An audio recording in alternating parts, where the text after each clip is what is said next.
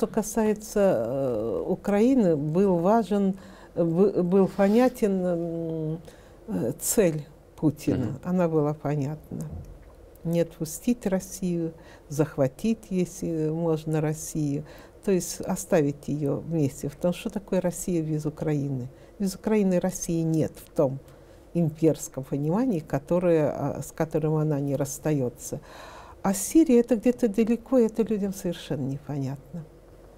Не, непонятно. Даже вот нет человеку, который прочитал там всего Толстого, Достоевского, да, и Ремарка, и как бы все-таки не так далек от политики, занимающийся 30 лет вот этим красным человеком, история его.